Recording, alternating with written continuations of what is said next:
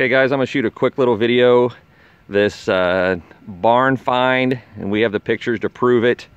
1964 Ford Galaxie 500 P-Code 390 high performance. Um, this car was last licensed in 1988 in Missouri. Um, the guy used to drag race it, but we feel that he actually used it as a daily driver because it has a trailer hitch on the back of it also. And in some of the documentation where he shows where he changed the oil and had exhaust and all that fixed on it as well. But anyways, it's got four brand new tires on it. It's a roller, the engine's not stuck. It has the original 390 in it with a top loader four speed, factory shifter, all that cool stuff still on it. It doesn't look like it's ever been abused. Um, it's got some really cool patina. The paint's baked on the hood and the top of the fenders and the top and trunk like it's supposed to be from years of use. All of the glass is in excellent shape. It is tinted glass. The only thing I see in the windshield, there's a little little fleck right there, which is no big deal. It still has all the Carlite glass in it. Um, I'm gonna push in on that. I'm gonna open the doors here and uh, carpet's been pulled. The door panels are in really good shape. The seats will clean up. They've got some wear. I mean they are 56 years old. When i'm 56 i'll have some wear as well. Um, it does have the original factory uh, top loader shifter for a bench seat with a reverse lock lockout. It's had these extra gauges added to it when he used to race it but they didn't butcher anything when they used it. Um, I think that's a Sun Tach, but the glass is all faded out. Dash is cracked as they normally are. Um, driver's side floorboard. This is the rust in it. I'll get over to the passenger side here in just a few minutes. Back floorboards are just as nice as can be. They're they're solid. Um, look under the seat here. They still had the rear seat belts back seats same way just as solid as, as could be. And this thing didn't sit in an old old hay barn. It sat in a in a shop is what it sat in. Um, there's some rust down there at the bottom. As can be inspected from a car this age. Back quarter panel. It's got a hickey here on the back quarter. We're to go back up front Um,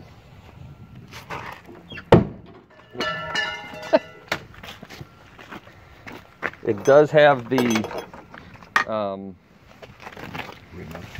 remote trunk release, which I guess what was an option back back then. The driver's door does hang, hang up on the front fender. That's just because the fender's loose on the bottom. There's no there's no damage. It's just it just hang that fender's loose. Do You have the keys to the trunk. You have the trunk key. Okay. Oh, okay. Yeah. Duh. He pulled the re remote. That, that works. Inside of the trunk, it's got some rust in the back driver's side. It's had a patch many, many years ago put over there. And then the same on the other side. And then there's some rust right here. It has the original spare tire it retains all its original equipment. Um, was, the car was originally Ran Rangoon Red. It's got a really cool trailer hitch on the back. So you know this car was actually used. And we have the extra tail, tail panel for this piece where they had their trailer lights hook, hooked up. He's got it there.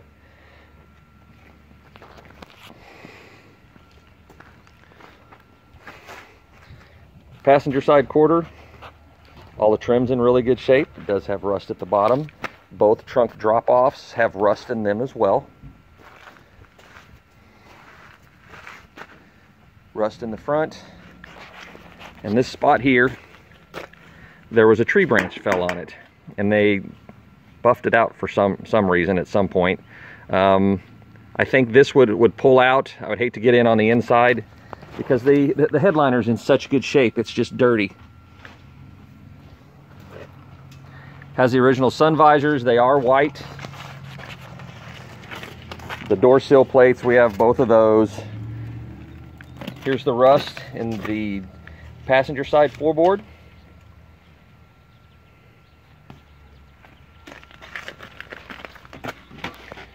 Rear floorboard.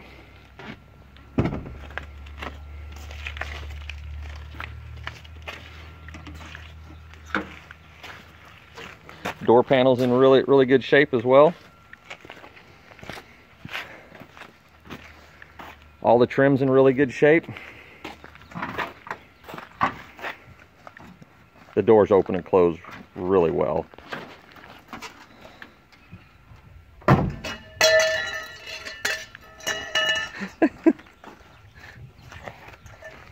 the headlight rings are just sitting on it. The guy we got it from didn't didn't have them on there. They're on there just just for pictures. The grill's nice. I'm gonna pause this and we're gonna open the hood. Has the original engine in it. We have the air cleaner for it as well. Um, it's had some 70s Go Fast goodies put on it. We do have the radiator for it, the fan, um, the carburetor. He does have the original carburetor. We just don't, don't have a picture of it right now. Uh, but the carburetor that is on it is off a 66 or 67 Fairlane GT four-speed car. Engine's, like I said, engine's not stuck. Battery tray's not rusted out. It's a power brake car. He has the chrome dress-up kit for it. Has the tag up front. This VIN matches the door VIN. None of that's been changed. It still has the little shorty headers on it, cast iron shorty headers. It has been switched to an alternator at some point in its life, but it doesn't look like they butchered anything when they did it. Here's the, the chrome radiator cover. Anyway, guys, this is it. It's a roller. It's not stuck. I have a couple other pieces right here. Here's the the radiator, the for the driver's side fender, radiator, um, the horns, the hubcaps, and then there's just some other miscellaneous pieces.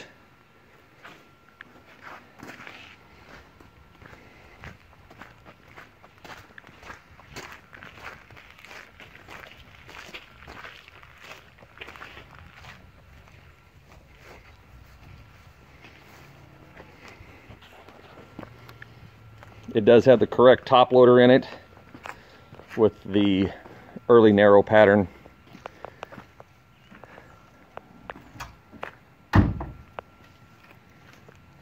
But it's got great patina.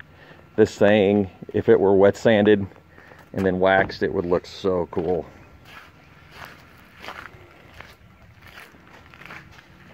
I think what makes it even cooler is it's a bench seat four speed car. It's a one owner